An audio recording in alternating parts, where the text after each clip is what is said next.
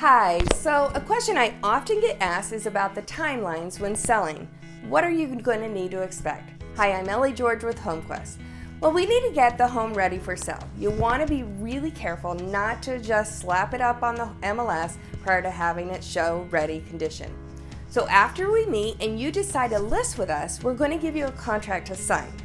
Once we have an executed contract, we'll then schedule an appointment with our stager to come out to your house and give you some recommendations and some opinions on what you can do to enhance the appearance of your home to maximize the return on your investment.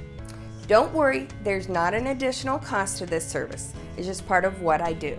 So this is essential because the research shows the importance of staging in relation to the amount of money you'll get on your home as well as how quickly that home is going to sell.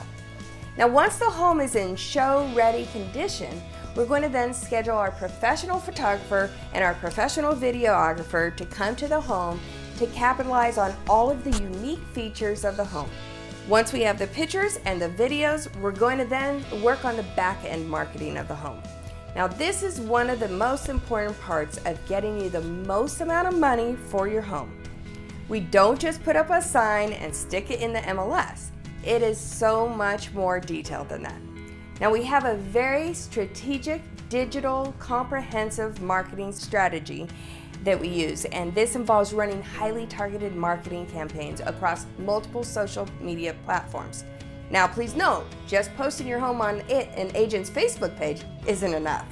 Your home is will get about 97% less exposure by doing that way. So we properly expose your home across multiple social media platforms. Now during this time, we're going to recommend whether or not you should have any inspections done prior to going on the MLS. We're also going to go over the disclosures with you so we can have those ready and available for your buyers so that they can be fully aware of the condition of what the home is looking like inside and out prior to making an offer.